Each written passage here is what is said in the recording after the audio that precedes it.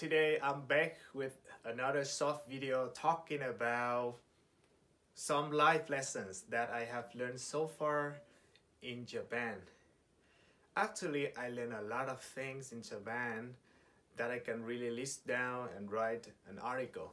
But today I just go over some main point and some big lessons that I learned here in Japan.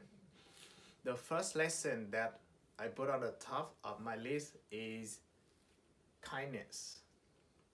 You know, when you come to Japan, you will really experience this one really fast and early in your first step in this life.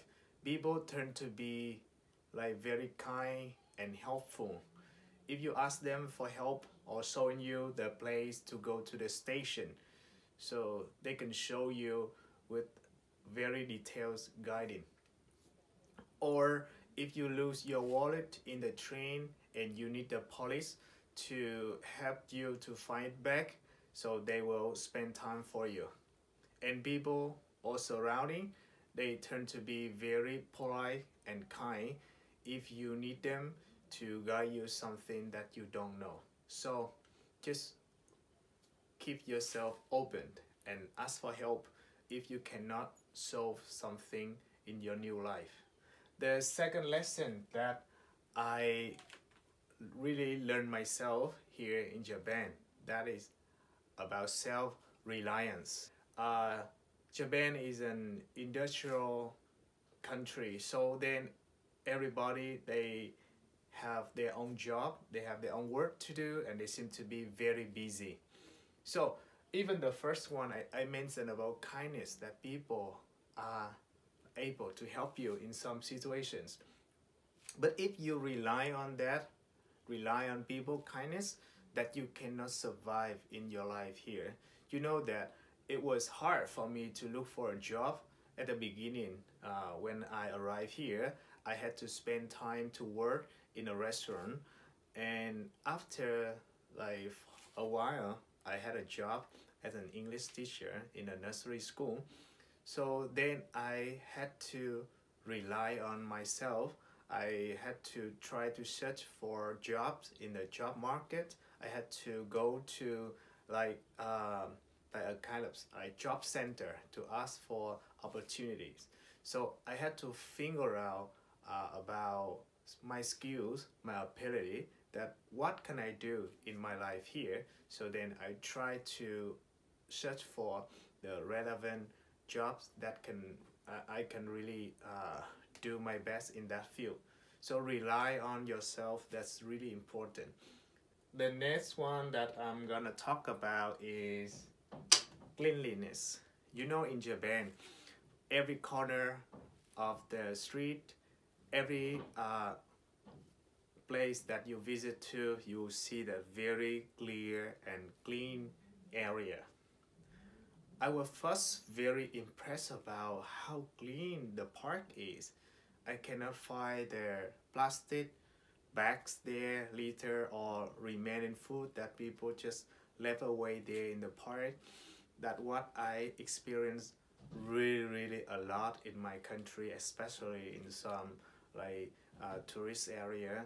But here in Japan, that the way people keep the public area clean, that so respectful. And the next lesson I want to talk to you is um, dedication. You know, Japanese people are well known uh, with their dedication. They sacrifice a lot for their job and you know um, many women they just uh, try to share a word for the family instead of husbands. When men spend a lot of time for their job and women they taking care of the family. Or otherwise the women just really spend a lot of time for work and husband who try to spend more time for the family but most Japanese people I know they work very hard and then they rarely complain about how hard the job is. You know being lazy in Japan really strange and nobody want that people know that uh, they are not dedicated enough for their job. And if you are a student i think that the time spending in the library studying the uh, classroom or like extra lesson with your professor would be very highly appreciated.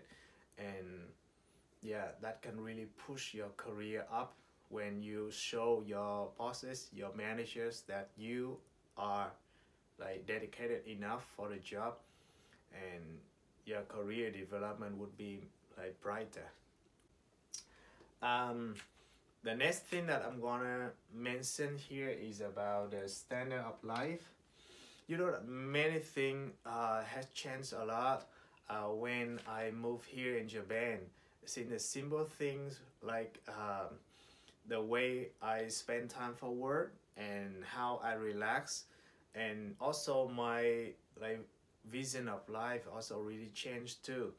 In vietnam really easy to invest to a small business when you have an idea uh, but here in japan that you can guarantee yourself uh, your life with a job.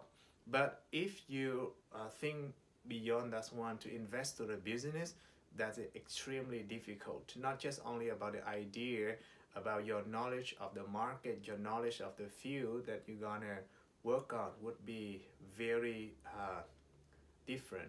The situation here is so different.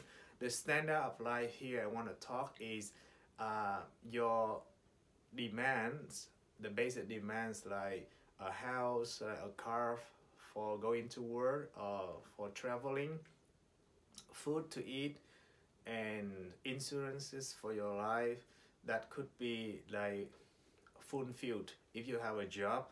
Everybody live in Japan if they have a job, even they are workers or they are toilet cleaner or they are teachers or engineer, uh, they can pay for them for themselves if they are living alone or they can really pay for the whole family if they have the like full-time job.